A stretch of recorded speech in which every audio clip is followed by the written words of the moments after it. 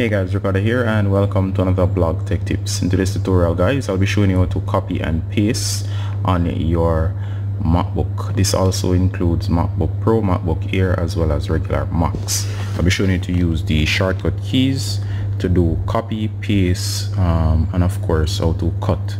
Alright, so these are very cool things to know. You don't have to be fumbling through menus to access these commands uh, that can take up a lot of time. The shortcuts will save you so much um, time and trouble. So let me just demonstrate here guys. So let me go to pages. So of course I've launched pages. And as you can see on screen here I have this text that says how to copy and paste. Now of course the commands are simple um, in order to copy and paste. So just pay attention and I'll be showing you to do this right now. So let me just zoom in a bit.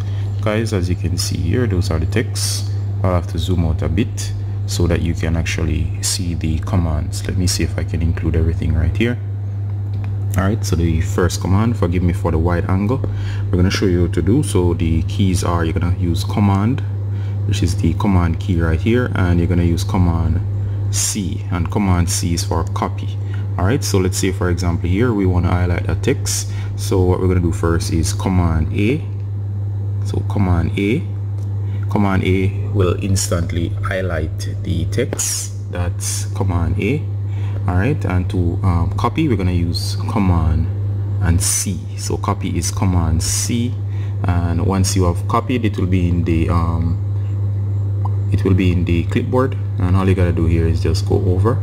So we're gonna make a space I'm gonna enter the second line and then I'm gonna hit command and V which is space. So check this out guys. Command V and you can keep copying this command V and notice it keeps copying the text to say um, how to copy and paste. Alright? And now in case you want to um, cut everything here we're going to use the command again command A to highlight everything.